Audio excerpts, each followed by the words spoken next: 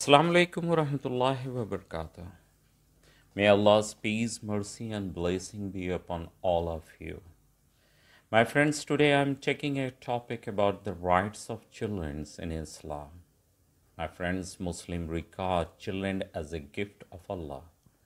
From the Islamic point of view, a child is bestowed upon his parents from the Allah Almighty as a trust, amana.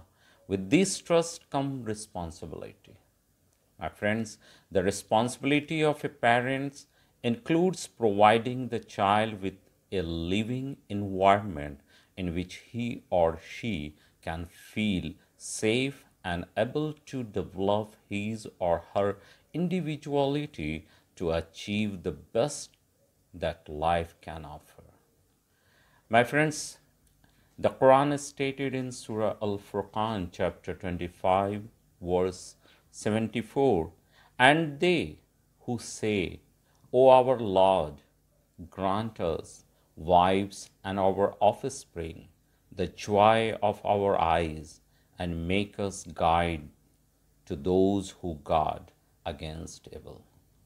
My friends, the most distinctive characteristic of the true servant is their eagerness for prayer to Allah.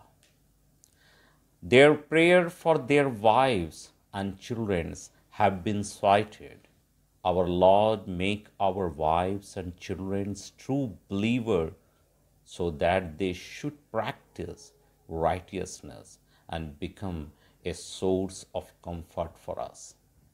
My friends, their prayer shows that the true servants of Allah more concerned about salvations of their beloved ones in the hereafter than the enjoyments of the world.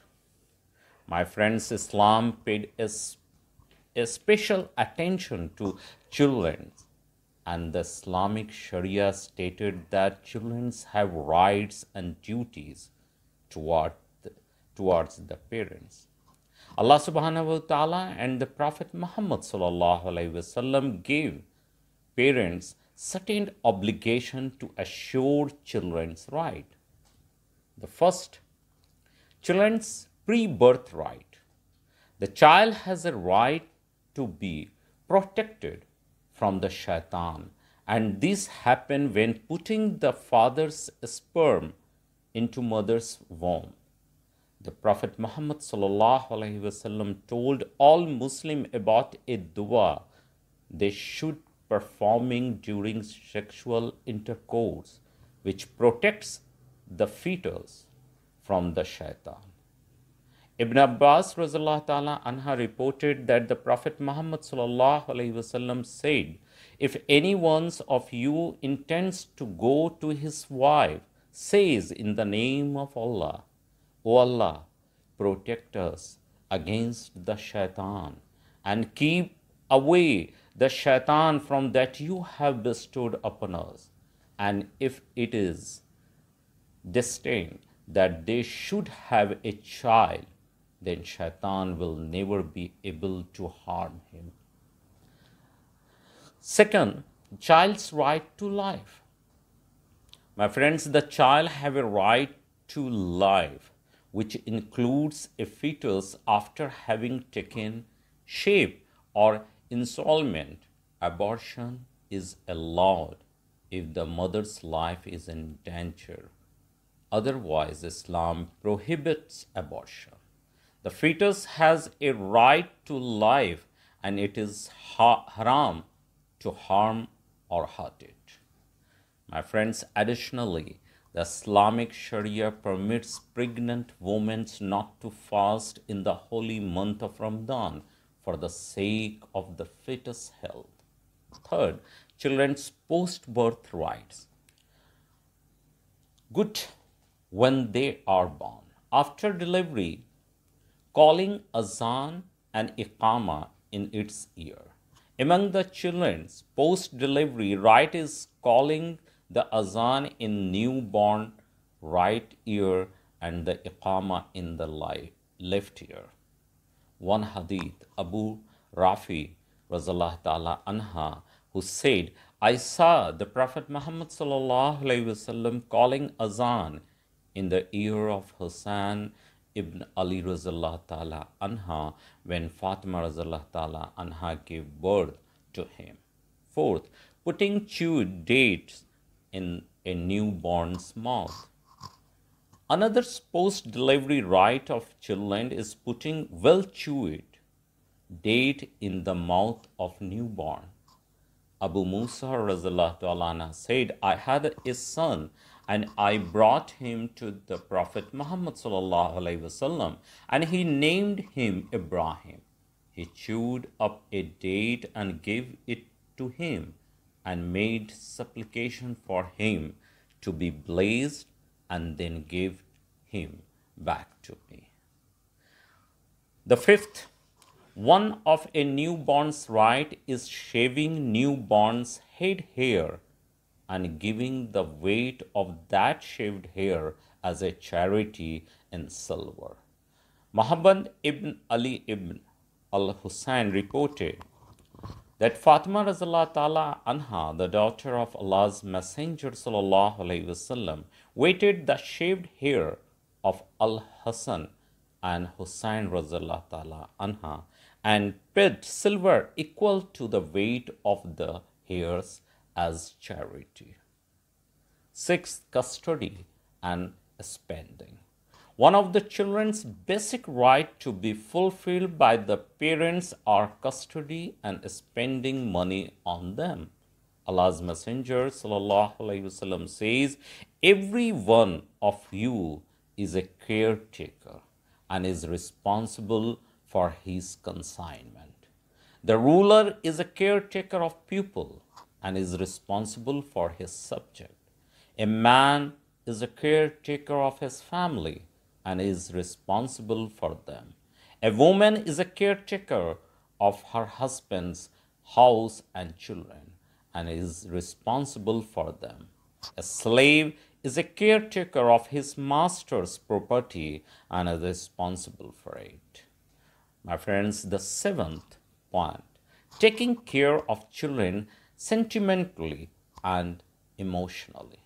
Children should be taken care of sentimentally by doing well to them, having mercy upon them, fun and bantering with them. Prophet Muhammad wasallam kissed Al Hassan ibn Ali in the presence of Al Aqra ibn Habis Aqra ibn Habis Razallah said, I have ten children and I have never kissed any of them. Allah's messenger cast a look at him and said, Whoever is not merciful to others will not be treated mercifully. My friends, the seventh, the eighth point is good educations. One of children's right is the good educations. Parents are obliged to see to their religious training, proper educations, and training in sports and self-defense on their children. One hadith, Abu Dawud, Book of Prayer, 495. The Prophet Muhammad says, Command your children to pray when they become seven years old and beat them for it when they become 10 years old. My friends, Allah commands us in Surah At-Tahrim, chapter 66, verse 6.